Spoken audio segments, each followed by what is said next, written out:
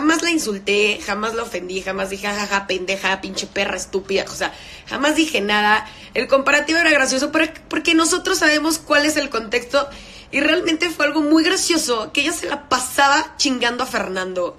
Y Fernando neta ni la pelaba, güey, ni le caía bien. Entonces, el story fue como de, güey, ya vas a pelar a Sara. Pero cuando lo subí, o sea, nadie sabía qué pedo. Es más, ni siquiera Suri, que sabe el contexto, le había entendido.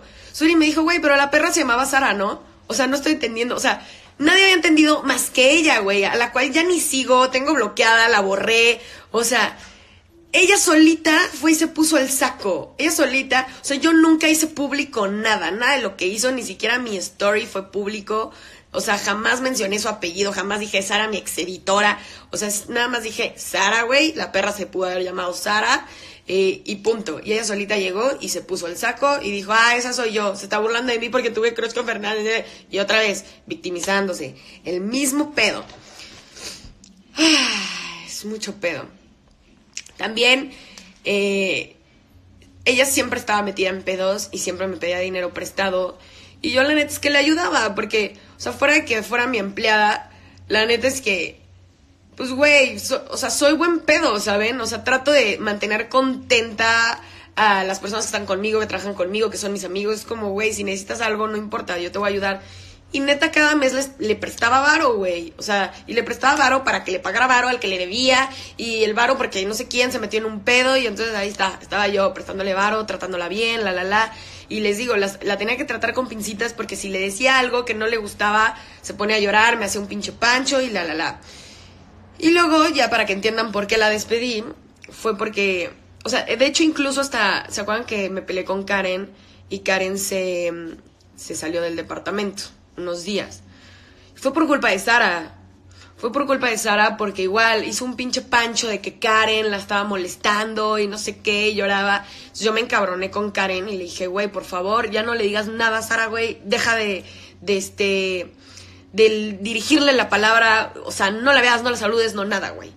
Karen se emputó, me dijo como que, güey, pues pinche vieja hipócrita, que no sé qué, que la la la. Nos peleamos, se fue. O sea, yo a Sara siempre la defendía ante todos, güey.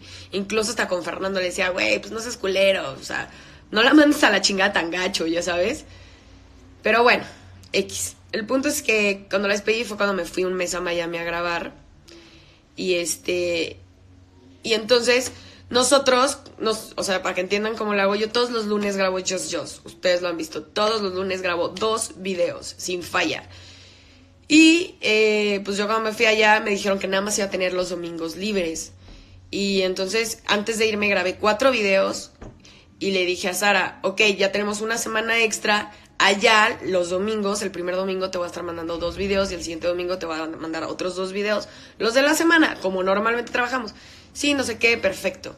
Y ya me fui y este, pasó el primer domingo, grabé mis dos videos, se los mandé y de repente me, me mandó un mensaje así como, ¿me mandaste dos videos? Y le dije, sí. Ah, es que yo pensé que me ibas a mandar cuatro. No, güey, siempre te mando dos, siempre grabamos dos. ¿Por qué te voy a mandar cuatro? Ah, es que la próxima semana me voy de viaje. Ya, pues no es mi pedo, güey. Te vas tu computadora y lo editas allá. No, es que no voy a tener internet. Güey, pues no sé, güey, a ver cómo le haces, buscas un café internet o no sé, pero, güey, yo estoy trabajando y literal esto, pero yo trabajaba de 6 de la mañana a 8 de la noche. A las 6 de la mañana tenía que estar en el estudio y a las 8 de la noche salía. Yo no tenía tiempo de grabar otro video porque no había luz, porque además salgo y salgo hambrienta, tengo sueño, quiero dormir, ya saben. O sea, y no voy a grabar un video pinchurriento y culero, nada más porque Sara se tenía que ir de viaje, ¿no? Yo le dije, bueno, güey, pues yo ya no puedo grabar otros dos, entonces al final es tu chamba, es tu trabajo, y si me hubieras avisado de que, güey, por favor, grábame cuatro videos, yo con mucho gusto los hubiera grabado, güey. Pero no me puedes decir ya que los grabé y ya que dices, ay, pues ya me largo. Me y, y ahí se cambiaron las cosas, o sea, ahí parecía que ella se sentía mi jefa, ¿no? O sea, ya era un pedo descarado, eh, o sea, ya era un pedo igualado de, pues querer es poder este, son tus videos, ¿eh? Y si quieres que los suba, pues lo tienes que grabar. Y si no, pues te la pelas. Así yo como, güey, es tu chamba, güey. Te pago por eso. No me estás haciendo ningún puto favor. Es tu puta responsabilidad. Te lo avisé desde hace como dos meses con anticipación. ¿Qué pedo contigo? pues no sé, si lo quieres grabar, este, me avisa, si no, no te puedo ayudar, así, de la verga. Y, güey, entonces le dije, ¿sabes qué, güey? O sea, yo no puedo grabarlos. Entonces tú buscas la manera, le dices a alguien que te ayude a editarlos o a ver qué pedo, pero yo no puedo hacer nada porque estoy trabajando, güey. No estoy rascando el puto ombligo. Y me dijo así como, eh, ah, yo no voy a pagarle a nadie, no sé qué, que por lo que me pagas, no sé qué, así de la chingada, güey. O sea, de la chingada se portó súper naca, horrible. Y le dije, ¿sabes qué, güey? Vete a la chingada dame lo que me debes de los videos, págame lo que te presté, me dio más de 20 mil pesos. Y este, y a la chingada, yo ya no quiero tener contacto contigo, güey. Es una persona súper malagradecida. O sea, te enseñé a editar, güey. Te defendí con mis amigos. Te estuve tratando con pincitas como querías, güey. Este, te traté de huevos. O sea, soy una persona que cero le exigía, ¿saben? O sea, es, como, güey, vienes a agarrar los lunes y ya, se acabó. Este, no mames, o sea, era súper buen pedo. Y como que me cayó el 20 de, güey, neta, te eché la mano en tantas cosas, te defendí, te ayudé, te apoyé cuando lo necesitabas y te portas así de naca, güey, yo ya no quiero saber nada de ti, dame lo que me debes y se acabó, güey. Todavía dejé que me pagaran mensualidades, güey, y este... Y ya, o sea, yo dejé de tener contacto, dejé de contestarle, ella me siguió escribiendo, por favor, no me hables así, eh, no, por favor, no seas tan cortante, por favor, acéptame un café, por favor, no sé qué, yo os quiero limar las perezas. Nunca le contesté. Al principio le decía como, sí, sí, sí, como ya dándole el avión con tal de que me entregara los videos que me debía. Y ya al final, pues ya le dejé contestar, porque la neta a mí no me interesa ni, ni, ni ir a un pinche café, ni escuchar pendejadas de gente así de mierda, porque le dije, güey, no puedo creer que te comportes tan mierda Después de todo lo que hice por ti, güey. Y pues ya, o sea, no pasa nada, ya pasó, pero entonces ya déjame en paz, bye. O sea, no me estés chingando, no quiero saber nada de ti, se acabó. Y ahora, o sea, que ella viene y se pone solito el saco y no sé qué, empieza a hacer drama, cuéntalo de Fernando. Fernando le mandó un mensaje ayer diciéndole como de, güey, qué pinche hipócrita eres, güey. O sea, cuentas lo que te conviene, porque no dices que me acosaste, porque no dices la la la. Y Sara lo único que le contestó es que era un pinche cobarde, que eso se lo merece por pinche cobarde, que se aguante. Güey, cobarde, ¿por qué, güey? Porque no te peló. O sea, es un pedo muy enfermo, de verdad es una persona enferma, güey. O sea, cobarde porque no le hizo caso y eso es lo que se merece. O sea, lo está haciendo como por chingar, ya saben. Entonces, empezó a deshacer todo de que le empezó a quitar los likes que le dio y, no sé, güey, ya un pedo como mucho de hacerle pedo. Y yo lo único que quiero que quede claro es que Sara simplemente no es una santa, es una persona eh, neta, no es buena persona. Eh, a nadie le caía bien y yo estaba cegada, tenía una venda en los ojos, no entendía por qué. De hecho, ella tiene un chingo de pedos en todos los trabajos, en todos los trabajos. Y es porque ella se lo busca. Y la neta es que ya lo que ha consumido vale madres es karma, pero simple y sencillamente, Stoppers, yo soy una persona que siempre es sincera, que siempre dice la verdad. Mi único error, y el que sí debo de aceptar, es haber subido ese story porque le di un arma para ponerse a victimizar en público. Ese fue mi único error. Porque en, e, en ese story ni siquiera mencioné su nombre completo, no, o sea, jamás dirigía que era esa Sara, güey.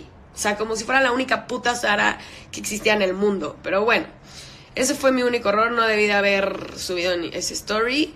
Este, pero pues bueno, ustedes ya saben el contexto. Eh, nunca la ofendí, nunca la insulté, nunca, ni siquiera les conté a ustedes todo lo que había hecho, que se comportó como una mierda. Porque, pues, güey, ¿para qué, no? O sea, incluso hasta ¿para qué le mando mierda? O sea, ya el, el karma solito le llega y de verdad que le ha llegado. Entonces, ya, o sea, yo no tengo nada que cargar en mi conciencia. Este, todo está chido. Cualquier cosa, pues espero que les haya quedado claro. No sé si tengan alguna duda. Voy a leer aquí sus comentarios, que veo que nada más me mandan como... Este, la amistad y el trabajo no se mezclan, de más, estoy de acuerdo, es algo que, que ya aprendí, ya hay que como que pintar una línea entre, güey, a ver, esto es chamba, enfócate y punto, ¿no? Y por eso es que la mandé la chingada, porque ni como, ni como amiga ni como empleada valoró todo lo que hice por ella. Y por eso es que dije que es una malagradecida, porque neta, o sea, no saben cómo la ayudé, Stoppers. Y, Y a mí no me gusta andar, este, ¿cómo se dice? Como contando cosas, ¿no? Como diciendo, mira, esto y esto y esto y esto hice por ti. Güey, ella sabe perfecto lo que hice y se me hace súper bajo de su parte que, que haya subido un video, que además sus videos, no mames, ya, eso es otra historia, güey. Qué oso, qué pena, qué vergüenza, qué todo. Entonces sus videos hablan de mí, güey. En fin, este... ¿Qué pasó con Fernando? Ya lo conté. Este en vivo no lo voy a guardar, así que pues los que escucharon, escucharon. Espero que les haya quedado claro. Eh, ahora, ¿quién me edita los videos? Otra chava que se llama Daniela, que nada que ver, súper buen pedo. Em, luego se las presento. Eh, este, estoy de acuerdo contigo. Gente así hay mucha y solo queda saber tratar a esa gente. Pues más que saberla tratar, quitarla de tu vida, ¿no? La verdad es que no trae nada bueno y pues ya. O sea, me trajo muchos pedos con, güey, con mi mejor amiga, güey, de toda la vida. O sea, me trajo pedos, ¿saben? Pedos con Karen, pedos con Anaid, pedos con Fernando, o sea, pedos en todos lados. Es más, pedos en el trabajo, güey, porque hasta yo de buen pedo me la llevaba de vacaciones, güey. Era, Sarita, vente, te llevo de vacaciones, me la llevaba de vacaciones e igual, hacía unas, unas cosas así que decías, güey, qué pena, güey, ¿para qué te traje? O sea, Qué vergüenza. Pero bueno, aún así yo decía, bueno, pues ya es su pedo. Este. Entonces, pues ustedes tendrán la palabra final de quién es la tóxica. Yo soy una persona, sí grosera, sí me he burlado de muchas cosas, pero al final la neta es que, o sea, jamás, jamás, jamás, jamás les he dado un, mal ejemplo, ¿saben? O sea, jamás, o sea, Anaid lleva trabajando conmigo cinco años y jamás en mi puta vida este, he tenido un pedo así con ella, ¿saben? Porque, pues, güey, al final, o sea, soy buen pedo, ¿saben? No sé, eso es lo que, lo que tengo que opinar. Qué mal que la gente sea tan mentirosa e intente manipular a la gente. Yo no quiero manipular a alguien, a nadie, ustedes pueden hacer lo que, lo que quieran, stoppers, este, si quieren seguirla, aunque no tenga sentido, síganla, si no la quieren seguir está chido, me vale verga. Este, no intento manipular a nadie ni manipular la realidad, esto es lo que pasó, punto. Están contando aquí que alguien está hablando mal de mí en un en vivo, no es nuevo. Incluso desde que yo trabajaba con Joss, ella se dedicaba a hacer eso, o sea, era como que se, o sea, no sé, no sé, a veces la gente se puede frustrar, o sea, miren, si yo me hubiera querido colgar de ella, ella tiene mil años trabajando con Joss. Y ustedes métanse a su Instagram y vean, y todo su Instagram es Joss. Fotos con Joss, Insta Stories con Joss, todo es con Joss. Entonces, mi Instagram nunca fue así. Cuando trabajé con ella, de repente salíamos, tengo dos o tres fotos con ella. Nunca quise salir en un video porque no me sentí incluyente. Si bien me reía, porque les digo, yo me río de todo, todo me da risa.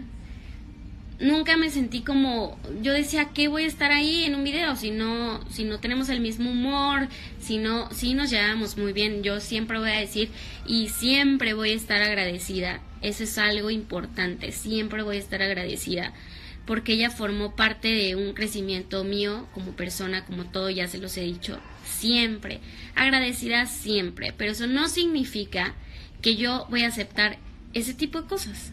Entonces, lo que me dicen de que ella está hablando de mí en un en vivo, pues no, sé, no es nuevo. Yo creo que si ustedes la siguen desde hace mucho, sabrán que esto no es nuevo. Siempre lo ha hecho. Y yo una vez se lo dije, oye, porfa, podrías dejar de hablar de mí tus en vivos, porque yo pues no te he hecho nada, o sea. Y ella me decía, yo soy libre de hablar de quien quiera en mis en vivos. Y yo, ok, o sea, es libre. Y como yo fui libre de hablar de lo que pasó con Joss, ella también es libre de hablar de mí. Y eso no la hace querer hacer o colgarse de nadie. Simplemente esta es una red social, ojo, esta es una red social que está abierta para todos. Y todos tenemos el derecho de expresarnos y de decir lo que no nos gusta, de decir lo que nos gusta, de lo que sea. Todos tenemos derecho. Sí, le puse el nombre decepcionada de Joss Top porque así es. Estoy decepcionada de Just Stop. Entonces, asumo las cosas como son. La, el hecho de que suma, suba un video no quiere decir que, ay, ya voy a ser famosa, voy a tener miles de suscriptores, Al contrario, la posibilidad era lo contrario, que me iban a odiar y que me iban a tirar, pero yo quería usar mi voz y la usé. Y si a partir de ahora, en vez de subir mis redes, bajan, ni modo, usé mi voz, ¿saben? O sea, no sé cómo por qué la gente asume que voy a subir en mis redes y que voy a ser más famosa y que voy a... ¿Por? O sea, no. Entonces, Netface, qué hueva tu vida, solo hablas de ellos. La verdad es que no. Hace apenas el video pasado y este en vivo es lo que estoy hablando.